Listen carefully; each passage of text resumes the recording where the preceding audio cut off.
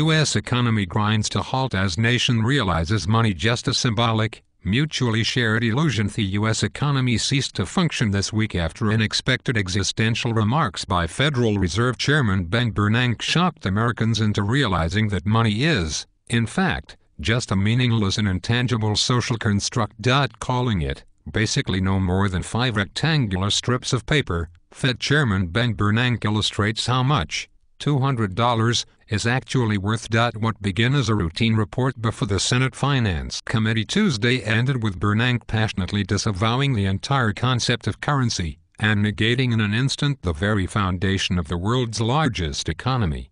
Though raising interest rates is unlikely at the moment, the Fed will of course act appropriately if we, if we, said Bernanke, who then paused for a moment, looked down at his prepared statement, and shook his head in utter disbelief. You know what? It doesn't matter. None of this, the so-called money, really matters at all. It's just an illusion, a wide-eyed Bernanke added as he removed bills from his wallet and slowly spread them out before him. Just look at it, meaningless pieces of paper with numbers printed on them. Worthless. According to witnesses, Finance Committee members sat in thunderstruck silence for several moments until Utah Republican Senator Orrin Hatch finally shouted out, Oh my God, he's right. It's all a mirage. All of it, the money, our whole economy, it's all a lie. Screams then filled the Senate chamber as lawmakers and members of the press ran for the exits, leaving in their wake aisles littered with the remains of torn currency.u.s. Markets closed as traders left their jobs and resolved for once to do or make something, anything of real value. As news of the nation's collectively held delusion spread, the economy ground to a halt, with dumbfounded citizens everywhere walking out on their jobs as they contemplated the little green drawings of buildings and dead white men they once used to measure their adequacy and importance as human beings. At the New York Stock Exchange, Wednesday morning's opening bell echoed across a silent floor as the few traders who arrived for work out of habit looked up blankly at the meaningless scrolling numbers on the flashing screens above. I've spent 25 years in this room yelling buy, buy, sell, sell. And for what? Longtime trader Michael Palermo said. All I've done is move arbitrary designations of wealth from one column to another, wasting my life chasing this inattainable hallucination of wealth. What a cruel cosmic joke, he added.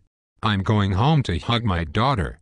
Sources at the White House said President Obama was still trying to get his head around all this, and was in seclusion with his coin collection, muttering, It's just metal, it's just metal, over and over again.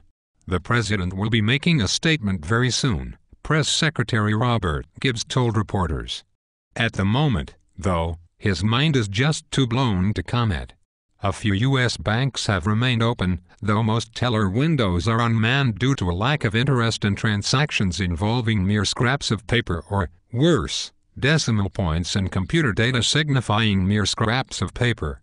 At the Bank of America branch in Spokane, Washington, curious former customers wandered aimlessly through a large empty vault, while several would-be robbers of a Chase Bank in Columbus. Ohio reportedly put their guns down and exited the building hand in hand with security guards, laughing over the inherent absurdity of the idea of $100 bills. Likewise, the real estate industry has all but vanished, with mortgage lenders seeing no reason to stop people from reclaiming their foreclosed upon homes. I don't even know what we were thinking in the first place, said former banker Nathan Collins of Brandon, MS as he might open a door to allow a single mother and her five children to move back into their house. A bunch of people sign a bunch of papers, and now this family has no place to live. That's just plain ludicrous. The realization that money is nothing more than an elaborate head game seems to have penetrated the entire country. In Wilmington, Delaware, for instance, a collection agent reportedly broke down in joyful sobs when he informed a woman on the other end of the phone that he had absolutely no reason to harass her anymore, as her Discover card debt was no longer comprehensible. For some Americans, the fog of disbelief surrounding the nation's epiphany has begun to lift, with many building new lives free from the illusion of money. It's back to basics for me, Bernard Polk of Waverly, Ohio said. I'm going to till the soil for my own sustenance and get anything else I need by bartering. If I want milk, I'll pay for it in tomatoes. If need a hoe, I'll pay for it in lettuce. When asked, hypothetically, how he would pay for complicated life-saving surgery for a loved one, Polk seemed uncertain. That's a lot of vegetables, isn't it? He said. This was originally an article from TheOnion.com and I am a corporatocracy shill.